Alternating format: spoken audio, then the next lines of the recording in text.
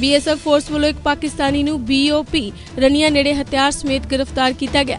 ਜਾਣਕਾਰੀ ਦੱਸਦੀ ਹੈ ਕਿ ਫੜੇ ਗਏ ਪਾਕਿਸਤਾਨੀ ਕੋਲੋਂ ਬੀਐਸਐਫ ਵੱਲੋਂ 3 ਕਿਲੋ ਹੈਰੋਇਨ, ਅਮਰੀਕੀ ਮਾਰਕਾ ਰਾਈਫਲ, ਮੋਬਾਈਲ ਅਤੇ 28 ਜਿੰਦਾ ਕਾਰਤੂਸ ਬਰਾਮਦ ਕੀਤੇ ਗਏ ਨੇ। ਫੜੇ ਗਏ ਇਸ ਹੈਰੋਇਨ ਦੀ ਕਮਾਂਤਰੀ ਬਾਜ਼ਾਰ 'ਚ ਕੀਮਤ 15 ਕਰੋੜ ਰੁਪਏ। ਫੜੇ ਗਏ ਕੁਸਪੈਠੀਏ ਕੋਲੋਂ ਇੱਕ ਅਮਰੀਕੀ ਮਾਰਕਾ ਰਾਈਫਲ, ਮੈਗਜ਼ੀਨ, ਮੋਬਾਈਲ ਅਤੇ 28 ਜਿੰਦਾ ਕਾਰਤੂਸ ਬਰਾਮਦ ਕੀਤੇ ਗਏ ਨੇ। ਇਸ ਤੋਂ ਬਾਅਦ ਬੀਐਸਐਫ ਅਤੇ ਜਵਾਨਾਂ ਵੱਲੋਂ ਇਲਾਕੇ 'ਚ ਸਰਚ ਮੁਹਿੰਮ ਚਲਾਈ ਗਈ। ਮੁਹਿੰਮ ਦੌਰਾਨ ਜਵਾਨਾਂ ਨੂੰ ਬੀਓਪੀ ਰਨੀਆ ਨੇੜੇ 3 ਕਿਲੋ ਹੈਰੋਇਨ ਵੀ ਬਰਾਮਦ ਹੋਈ ਹੈ। ਦੱਸਿਆ ਜਾ ਰਿਹਾ ਹੈ ਕਿ ਕੁਝ ਹੋਰ ਕੁਸਪੈਠੀਏ ਵੀ ਸਰਹੱਦ ਪਾਰ ਕਰਨ ਦੀ ਫਿਰਾਕ ਵਿੱਚ ਹਨ, ਪਰ ਬੀਐਸਐਫ ਨੇ ਉਹਨਾਂ ਦੇ ਮਨਸੂਬਿਆਂ ਨੂੰ ਨਾਕਾਮ ਕਰ ਦਿੱਤਾ ਹੈ। ਫਿਰੋਜ਼ਪੁਰ ਤੋਂ ਬੌਬੀ ਖੁਰਾਨਾ ਦੀ report, Daily Post, Punjabi.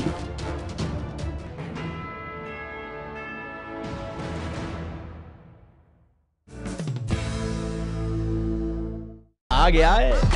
Balle ਬੱਲੇ 24 ਘੰਟੇ ਦਾ super hit Punjabi 뮤직 TV channel